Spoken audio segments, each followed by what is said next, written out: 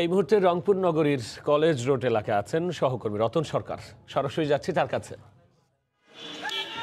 এই মুহূর্তে কিন্তু রংপুর, পুরো নগরীটি কিন্তু নির্বাচনের উত্তাপে ভরপুর। এখন এখানে নয় জন প্রার্থী মেয়র পদে এবং অসংখ্য কাউন্সিলর প্রার্থী, সংরক্ষিত কাউন্সিলর প্রার্থীরা কিন্তু ভোটারদের দাঁড়ে দাঁড়ে শেষ মুহূর্তে যে আজ রাত বারোটায় আসলে এই ভোটের জন্য নির্ধারিত যে প্রচার প্রচারণার নির্দিষ্ট সময় সেটি কিন্তু সেটি কিন্তু শেষ হয়ে যাবে এবং এখানে কিন্তু তারপর থেকেই কিন্তু নির্বাচন আহ, আয়োজনের অর্থাৎ ভোট আয়োজনের যে যেসব প্রস্তুতি সেটি কিন্তু প্রস্তুতি সম্পন্ন করা হচ্ছে।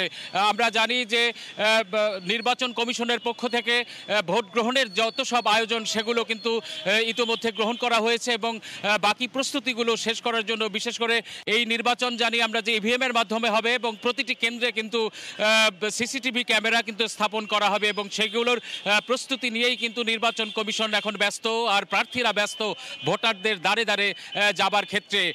এই এই মুহূর্তে আমরা গত কয়েকদিনের যে পর্যবেক্ষণ সেখান থেকে আমাদের কাছে আসলে যেটি মনে হচ্ছে যে এবার নির্বাচন হবে এক, একেবারে ত্রিমুখী লড়াইয়ের মতো হবে। আমরা জানি যে মূল ধারার যে দুজন প্রার্থী জাতীয় পার্টির মোস্তাফিজুর রহমান মোস্তফা, আওয়ামী লীগের অ্যাডভোকেট ডালিয়া, এর পাশাপাশি কিন্তু আরেকজন স্বতন্ত্র প্রার্থী প্রতিযোগিতায় বেশ এগিয়ে এসেছেন তিনি লতিফুর রহমান, ইঞ্জিনিয়ার লতিফুর রহমান। যার আহ, প্রতীক হাতি। আসলে এই মুহূর্তে এই তিনটি শিবিরে বিভক্ত হয়ে কিন্তু রংপুর সিটি কর্পোরেশনের নির্বাচনের যে সবশেষ প্রচার যুদ্ধ সেটি কিন্তু সেই প্রচার যুদ্ধে তারা এই প্রার্থীরা অবতীর্ণ হয়েছে এবং শেষ মুহূর্তে যেন প্রতিটি ভোটারের কাছে পৌঁছানোর জন্য তারা কিন্তু যাটপর নাই চেষ্টা করে যাচ্ছেন।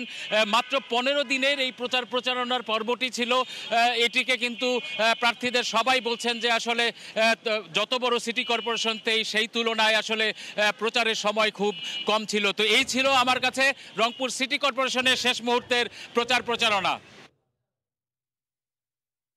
রংপুর সিটি নির্বাচনের সর্বশেষ নিয়ে আমরা সরাসরি ছিলাম নগরের কলেজ রোড এলাকায়।